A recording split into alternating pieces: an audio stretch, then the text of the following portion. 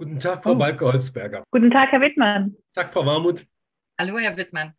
Frau Balke-Holzberger, Sie sind examinierte Kinderkrankenschwester, Sozialpsychologin und Soziologin. Sie arbeiten als systemische Familientherapeutin und Coach in eigener Praxis in Hannover und sind auch als Organisationsberaterin in betrieblichem Gesundheitsmanagement tätig. Sie sind auch Beraterin in betrieblichen tätig. Schnitt. Sie engagieren sich zur gesunden Führung und organisationale Resilienz auf Basis einer umfassenden Corporate Social Responsibility. Ist das richtig so? Ja, so ist das richtig. Frau Warmuth, Sie sind auch Lerncoach, Lerncoach-Trainerin und Lehrtrainer, Lehrerin, aber auch Journalistin. Sie sind Expertin für hirngerechtes Lernen mit Leidenschaft und Struktur. Sie sind Inhaberin der Lerninsel in Berlin und bieten dort individuelles Lerncoaching für alle Altersstufen sowie zertifizierte Ausbildung zum Lerncoach und Lehrerfortbildungen an. Insbesondere begleiten sie Schulen auf ihrem Weg zu einem neuen Lernen und bilden Lehrerteams zu Lerncoaches aus. Auf dem Blog von Klett Cotta steht, die Ferien sind vorbei, da denken viele an den Stress, der jetzt wieder auf sie zukommt. Neue Stundenpläne, neue Lehrer, neuer Stoff. Die ersten Termine für Klassenarbeiten hängen schon aus. Die Vorbereitung für Referate steht an, der permanente Druck der Hausaufgaben. Da kommt jetzt der Band von Ihnen, Frau Balke-Holzberger und von. Frau Barmuth, Shake It, genau zum richtigen Zeitpunkt. Der Untertitel Zittern für den Lernerfolg gibt exakt an, was Sie beide jeweils zu diesem Band beigetragen haben. Frau Balke-Holzberger, unsere treuen Blogleser haben sicher schon das Interview mit Ihnen zu Ihrem Buch gesunder Rücken durch Zittern gesehen. Trotzdem möchte ich Sie fragen, Sie sind die Gründerin der Faszien Stress Release Arbeit. Welche Bedeutung hat diese Aktivität für die Pädagogik? Was hat denn der Lernerfolg mit dem Zittern zu tun? Ja, das sind ja zwei Fragen. Und das erste ist erstmal, dass Zittern wirklich jeder kennt ähm, in der Pädagogik. Wenn wir die beiden Rollen klassifizieren, unabhängig des Alters, ob jung oder alt, ähm, Lehrende oder Lehrer oder Schüler oder Schülerinnen. Ähm, zittern, das kennen wir alle. Und wenn wir uns zurückerinnern, wir zittern vor Kälte, wir zittern, wenn wir angespannt sind, wenn wir Angst haben, da ist es unangenehm, da ist es peinlich, da schämen wir uns, ja, wenn der Körper etwas Eigenes tut. Wir zittern aber auch in ganz schönen Momenten, so gut, es ist heute noch Herbst, aber bald kommt Weihnachten, wenn wir Kinder sind, so in Vorfreude bei schönen Momenten. Das heißt, der Körper kennt dieses Zittern. Und wir bewerten es in schönen Situationen als nützlich, angenehm und wohltuend. Und wenn es uns unangenehm ist und wir uns schämen, dann mögen wir es nicht. So. Aber es ist immer das Gleiche. Und lernen kann, und das haben wir alle, je nachdem, welchem Alter wir sind, ähm, haben wir eine Lerngeschichte. Und da kann Lernen manchmal Stress auslösen. Stress neutral, es kann nützlich sein oder weniger nützlich sein. Also einen positiven oder unangenehmen Stress zu haben. Und da kommt das Zittern in der Pädagogik, ähm, Sie hatten nach Pädagogik gefragt, einfach aus meiner Sicht wunderbar hinein, weil Zittern ist eine genetisch angelegte Selbstregulation, Kompetenz. Das heißt, wir müssen es nicht lernen. Keiner, egal welche Rolle wir haben. Jeder Körper kann das. Und Zittern ist einfach eine wunderschöne Lernerfahrung, wenn ich sie aktiv, selbstbestimmt auslösen, integrieren, steuern kann, die Dosis so für mich justieren kann, dass ich sagen kann, jetzt ist es gut. Und das finde ich persönlich in der Pädagogik eine, eine schöne Erfahrung. Ich muss es nicht lernen, es muss mir keiner beibringen. Ich kann es, es ist da, es ist immer richtig. Da gibt es kein Falsch beim Zittern, ja. Eine wunderschöne Erfahrung. Es ist immer richtig. Und ich kann sofort spüren, wenn es nützlich ist. Das heißt, mein Körper reagiert sofort drauf. Innerhalb von ein, zwei Minuten schütteln und Sie merken eine Veränderung, mhm. ja. Und das ist das eine, wo ich das Zittern in der Pädagogik verorten würde zum Thema Erfolg. Ähm, um was geht es, wenn ich durch Stress blockiert bin und mich ängstlich in irgendeinem Thema verfangen habe, dann bin ich nicht mehr in Beziehung, ja, nicht mehr mit dem Lehrer, nicht mehr mit dem Stoff, nicht mehr mit der Information. Und Zittern öffnet wieder den Körper, weil der Körper ist ja die Hülle. Ohne Körper hätte ich kein Gehirn, ich kann nicht hören, sehen, das Ganze verarbeiten. Und Zittern bringt die Verbindung wieder zwischen den, ja, dem Mind, also nicht dem Spirit und dem Ghost, sondern dem englischen Mind, dem Geist. Geist und Körper bringt die Verbindung zusammen. Und ja, da sehe ich das verortet. Mhm. Also eine Was, schöne Lernerfahrung. Welche Körperteile werden da beim Zittern genau angesprochen? Alle, alle. Das, durch das Zittern ähm, oder Zittern entsteht ja durch die Entladung von Stressenergie, um es kurz auszudrücken, im Fasziengewebe. Wir haben ca. 20 Kilo Faszien in dem gesamten Körper. Und je nachdem, wo ich gerade bin und wo ich, wie, wie sicher und wohlig ich mich fühle, kann der ganze Körper zittern. Ja. Also der Fasziengewebe hält den ganzen Körper im Prinzip zusammen. Ja, das ist wie, wie sie so, so ein, ein, ein, ein Spinnnetz, ja, was drüber liegt, wenn das ähm, ähm, oder ja, das ist ein, ein großes, faseriges Netz, was unsere Muskeln, Knochen und Sehnen zusammenhalten und dass wir gerade und aufrecht stehen. Ja, und wenn wir das durchschneiden würden, würden wir die ganzen Knochen zusammenfallen. Ja, mhm. und ähm, da steckt die Stressenergie drin und die löst sich und die kann sich im ganzen Körper lesen. Also auf Ihre Frage, der ganze Körper zittert. Okay. Frau Warmuth, Sie haben sich mit Ihrer Lerninsel in Berlin sehr intensiv mit Lernblockaden aller Art auseinandergesetzt. Und Sie beschreiben in diesem Buch zehn Lerninseln. Welche Rolle spielt dabei das Zittern? Mhm. Die, ähm, auf unserer Lernreise sozusagen zu den zehn Lerninseln steuern wir ja verschiedene Bereiche an. Und wenn ich sozusagen, was Frau Balke-Holzberger eben schon sagte, zu viel Stressenergie gespeichert habe, dann ist es sinnvoll, dass ich die erstmal entlade und abbaue, damit ich überhaupt an, ja, in meinem vollen Potenzial bin, um richtig lernen zu können. Ich sage mal ganz gerne, nur ein entspanntes Gehirn ist auch ein lernfähiges oder aufnahmefähiges Gehirn. Und wenn ich blockiert bin durch irgendwelche Glaubenssätze oder weil ich keine äh, richtigen Ziele habe, nicht motiviert bin, weil ich nicht an sozusagen meine innenliegenden Ressourcen herankomme, dann wird Lernen schwer. Klar kann ich auch lernen ähm, unter Druck und unter Stress, aber die Frage ist, wie lerne ich dann? So Transferwissen, weiterdenkendes Wissen, kreatives Denken ist unter Stress eigentlich fast nicht möglich. Sozusagen blockiert, nicht? Ja, man ist blockiert. Und letztendlich ist sozusagen ähm, diese Möglichkeit, durch das Zittern Stressenergie abzubauen, eine wirklich schnell erlernbare, schnell umsetzbar und jederzeit anwendbare Möglichkeit, ähm, sozusagen schnell Stress abzubauen, um dann wieder in, ja, in seine volle Handlungskompetenz zu kommen. Mhm. Und auf den zehn Lerninseln lernen wir dann oder kann man sich sein Köfferchen packen, was ich an Strategien und Techniken eben noch für mich individuell benötigen kann, um sozusagen da einen Schritt vorwärts zu machen in meinem Lernprozess. Mhm. Frau Backe-Holzberger, im normalen Schulalltag klagen alle Beteiligten über Stress. Ab wann wird er zum Alarmzeichen? Dieser Stress ist manchmal auch notwendig, weil die mhm. Kinder dann wirklich erst Vokabeln lernen, wenn übermorgen der Vokabeltest ansteht. Manchmal braucht man Stress, aber wann wird er zum Alarmzeichen? Ja, Sie haben es gerade angesprochen, so Stress ist total nützlich, so kurzfristig Punktlandung, sich zu fokussieren, die Energie zu nutzen und dann ähm, eine gute Leistung abzurufen. Dann ist er sehr, sehr nützlich. Und manchmal haben wir das vielleicht alle beim Vokabeltest mehr oder weniger gut erlebt. Aber wir haben ja nicht nur die, die Jugendlichen, Kinder und Jugendlichen beim Lernen, sondern wir haben ja auch junge Erwachsene und Erwachsene, die lernen.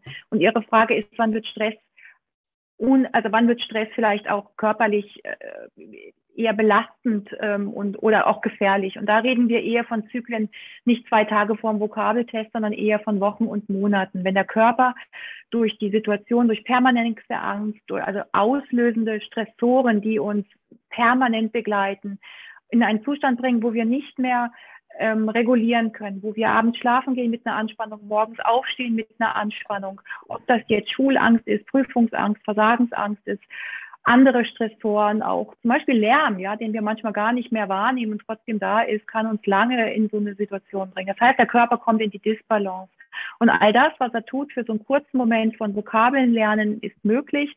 Und der das aber dann über Wochen und Monate macht, heißt, dann kommt der Körper in ein Ungleichgewicht. Ich kann nicht mehr gut schlafen, ich kann nicht mehr entspannen ähm, Essen und Trinken funktioniert nicht mehr richtig. Entweder von dem einen zu viel, von dem anderen zu wenig. Verdauen funktioniert nicht mehr richtig.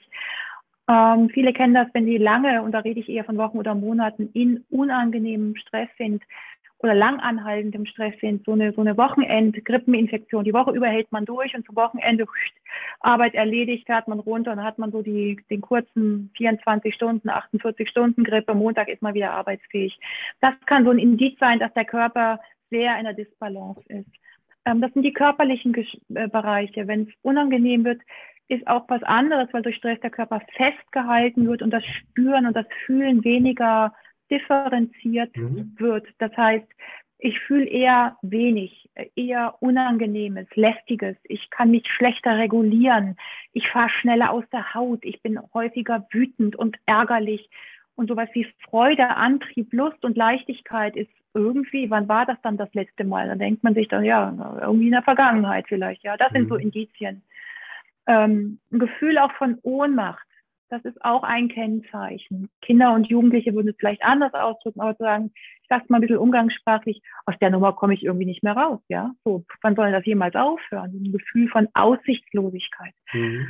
Ähm, plus dann, wenn sowas hinzukommt, psychisch vor allem, ähm, und auch nicht mehr schlafen können, dann kommen wir dann auch mit den stofflichen und nicht stofflichen ähm, äh, Suchtverhaltenspotenzialen, die sich anschließen können. Das sind so Indizien, Beobachtungskriterien sicherlich für zielberechtigte Personen, also so auch im, im Spielen, äh, Spielen, Essen, Trinken, Alkohol, Drogen. Also da ist ähm, viel Platz für Vielfalt leider. Ja, das mhm. sind Indizien. Mhm. Frau Warmuth, wird in unseren Schulen genug über die Art und Weise des Lernens nachgedacht? Müssen Schülerinnen und Schüler das Lernen selbst nicht viel mehr lernen? Also ich muss jetzt mal doch für viele Schulen erstmal eine Lanze brechen, weil gerade jetzt auch bei dem Wechsel zur Oberstufe oder zur, zur weiterführenden Schule ganz viel Methodentraining gemacht wird. Das ist aber nur ein Bereich. Viel wichtiger ist es, und da ist das Lerncoaching eben, weil es einen ganzheitlichen Blick hat und ressourcenorientiert ist. Es geht eben nicht nur darum, dass ich weiß, wie nutze ich Karteikarten, was ist die Spickzettelmethode oder wie fertige ich eine Mindmap richtig an, weil das sind äh, nur Techniken. Und äh, Steve de Chaser, der Vater der lösungsfokussierten Kurzzeittherapie, der hat mal so schön gesagt, äh, eine Technik ohne die richtige Haltung ist nicht mal eine Technik. Und das würde ich irgendwie zu 150 Prozent unterschreiben. Und es geht nicht nur darum, die Methoden zu kennen, sondern selbstgesteuert zu lernen, also seinen Prozess selber zu überwachen, innezuhalten, zu reflektieren, gegenzusteuern, zu evaluieren und sich selber sozusagen auf seinem Lernprozess zu überwachen und sich selber zu begleiten. Mhm. Und dieses selbstgesteuerte Lernen, das ist so das, was wir mit unserem Lerncoaching eben erreichen wollen. Mhm. Und mhm. deswegen gehen viele Schulen jetzt auch den Weg, dass sie ähm, Lerncoaching-Workshops äh, anbieten oder dass sie eben ihre Lehrerteams zu Lerncoaches ausbieten, weil das ist eben dieser ganzheitliche Blick. Ne? Wie geht es mir? Bin ich, habe ich schlechte Erfahrungen gemacht? Trage ich vielleicht einen Rucksack mit ganz vielen schlechten Lernerfahrungen aus der Grundschule schon mit mir rum? Dann gilt es, die erstmal aufzulösen, damit mhm. ich wieder in einen guten Zustand komme und meine Ressourcen voll nutzen kann und dann ähm, ja auch dann wirklich selbstgesteuert erfolgreich lernen kann. Mhm. Frau Balke-Holzberger, mhm. Shake It ist nicht nur ein Lehrbuch, sondern eine konkrete Anleitung, die Voraussetzung für einen besseren Lernerfolg zu schaffen. Also eine Anleitung für Lehrer, aber auch für die Lehrenden, für Schüler und mhm. Studenten auch. Ja, für alle in diesem Bereich Lehren und Lernende unterschiedlichen Rollen und Alters und Funktionen, weil es ist die Praxisanleitung wieder, lernen zu können. Und da, ich nehme nochmal das Stichwort von vorhin, das heißt in Beziehung treten. Das heißt, ich bin in der Lage, entweder dem Lehrer zuzuhören, in Beziehung zu treten, kann ich das, was ich höre, aufnehmen, verarbeiten, integrieren und in Kontakt nehmen oder alleine lernen, ähm, dieses in Beziehung treten mit meiner Art von Informationsaufnahme, was Marv und auch Frau, Warmuth auch gerade gesagt hat, meine Techniken anwenden zu können, zu spüren, dass ich selbstwirksam bin. Also immer wieder kommt für mich dieses Stichwort hinzu, gerade beim Lernen und äh, auch Lehrende, die gute Arbeit machen wollen und gut vermitteln wollen, haben Kriterien, wann, wann bin ich wirksam. Und die müssen in Beziehung treten können zu ihren Menschen, die sie unterrichten, die sie ausbilden, ob das Kinder, Jugendliche oder Erwachsene sind. Ein Gespür, da haben wir wieder dieses Gespür zu haben, bin ich wirksam. Insofern, ja, es ist für alle Rollen ähm, in diesem pädagogischen Bereich sehr nützlich und alle, die das schätzen, man kann nichts falsch machen. Ich kann mhm. das immer nur noch wieder sagen. Ich kann nichts falsch machen. Mhm. Es ist einfach da, ja. Gut. Frau Warmuth, warum ist es bei Ihren Lerninseln so wichtig, auch einiges über die Funktionen des Gehirns zu wissen? Sie vermitteln ja implizit, wie Lernen überhaupt zustande kommt. Ja, das ist die Frage nach dem Sinn. Wofür soll ich jetzt mein Lernen ändern? Warum soll ich das, was ich jetzt jahrelang gemacht habe, jetzt auf einmal verändern? Und wenn wir Menschen wissen, wofür das gut ist, wofür das sinnvoll ist, dann sind wir viel eher bereit, etwas zu verändern. Und wenn ich weiß, wie mein Kurzzeitgedächtnis, mein Langzeitgedächtnis, wie das alles zusammenhängt und warum es sinnvoll ist, dann einfach Dinge vielleicht anders zu machen. Bestes Beispiel ist zum Beispiel, mein Sohn ist auch so ein Kandidat. Ich muss mir das nicht aufschreiben, Mama, ich kann mir das alles merken. Und dann sage ich, nee, kannst du nicht, ne? weil dein Kurzzeitgedächtnis ist eben nur bedingt aufnahmefähig. Und wenn du dir merken musst, dass du nächste Woche einen Englischtest schreibst, dass du fünf Euro mitnehmen musst, dass du deine Sportsachen, dass ihr nächste Woche einen Ausflug macht, dass du ein Geburtstagsgeschenk besorgen musst, dass ihr dann Deutsch schreibt und, und, und, dann ist irgendwann die Kapazität erschöpft und irgendwas fliegt raus. Und was das ist, das, das weiß kommt, Das kommt mir so bekannt vor.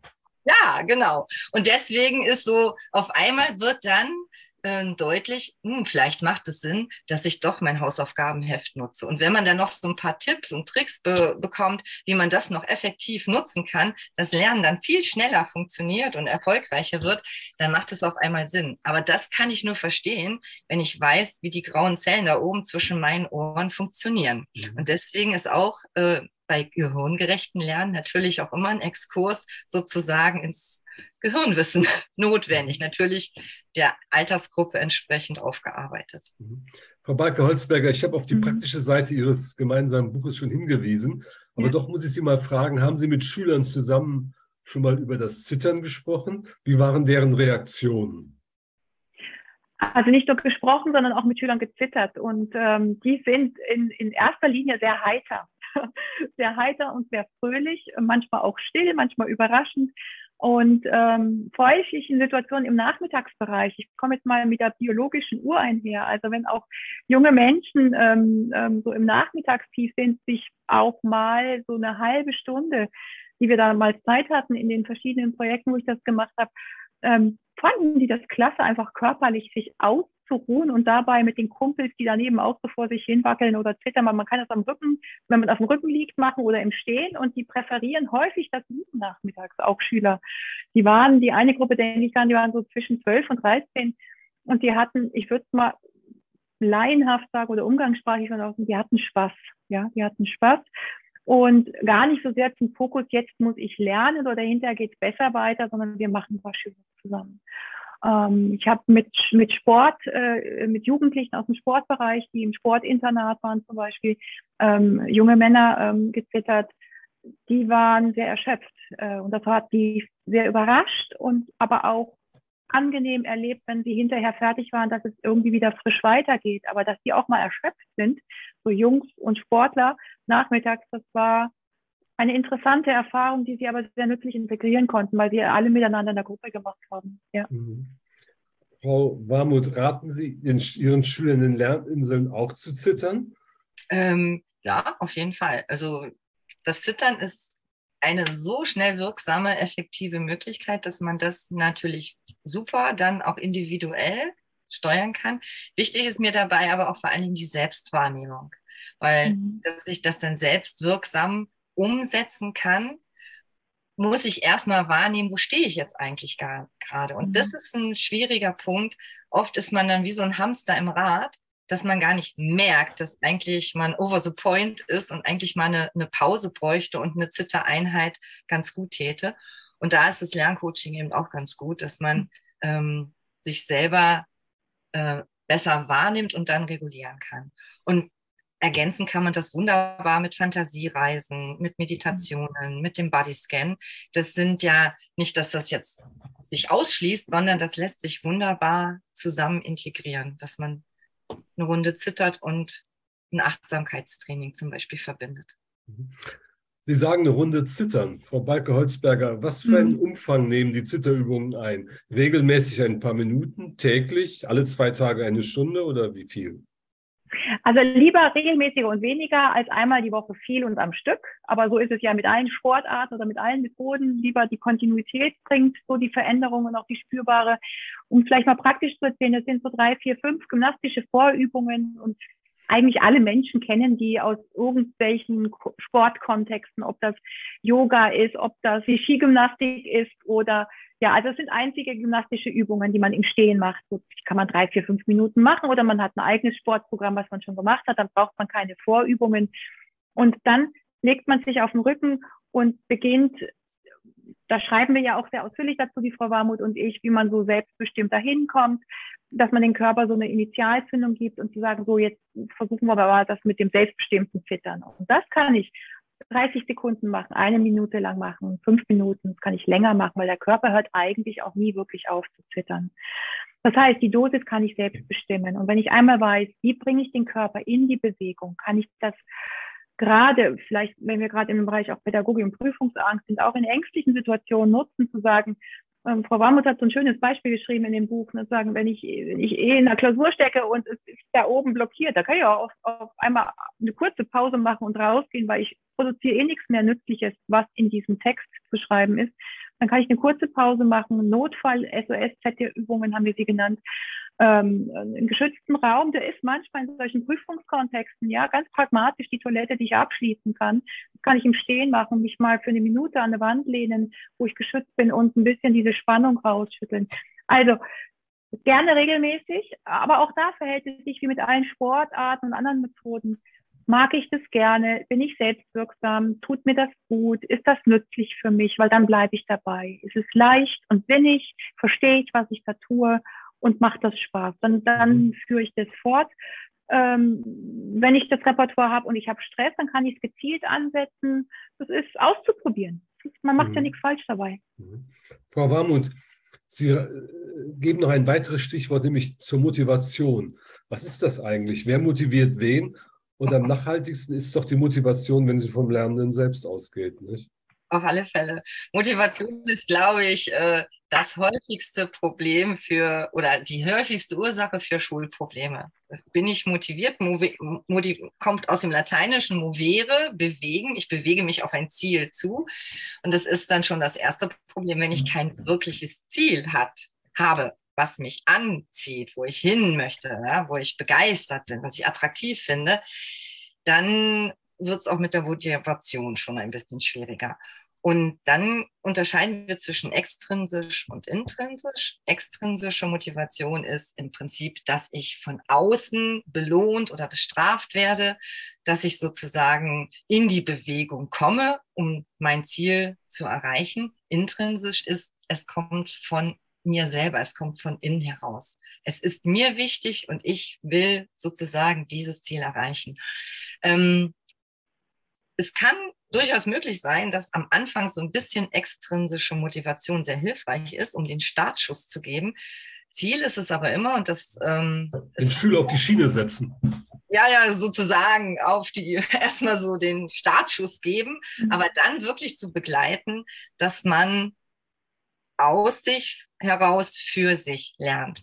Aber das ist mhm. definitiv erfolgreicher und nachhaltiger. Ich sage jetzt zum Beispiel auch, wenn jetzt ähm, beim MSA hier oder beim Abitur muss man ja auch Präsentationen machen und dann geht es dann immer um die große Frage der Themenwahl. Ja, ich könnte ja das machen oder das, da habe ich schon was oder der macht das und das mag der Lehrer. Ich sage, nee, wofür brennst du? Was interessiert dich? Mhm. Weil dann ist diese, diese Flamme der Leidenschaft für dieses Thema da und das motiviert mich und das bringt dann auch letztendlich dann, dass man dran anfängt, dran bleibt und das Ganze beendet, weil das ist Motivation. Anzufangen, dran zu bleiben und das Ganze zu beenden.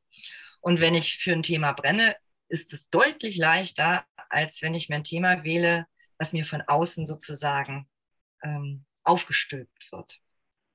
Vielen Dank, Frau Warmuth. Der Band Shake It Zittern für den Lernerfolg von Frau Balke-Holzberger und von Frau Warmuth ist gerade bei Klett-Cotta in der Fachbuchreihe erschienen. Vielen Dank. Vielen Dank. Wir haben zu danken.